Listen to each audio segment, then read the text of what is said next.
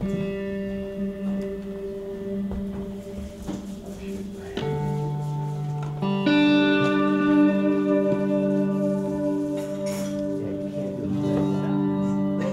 know, I, you know, I just realized today, I was like, "Ah, I forgot mine. Okay, you know what I mean? Like, because I put, you know, like here I'm going to sample into it, but Right. at a clinic I'm going to put it in front so I can sample.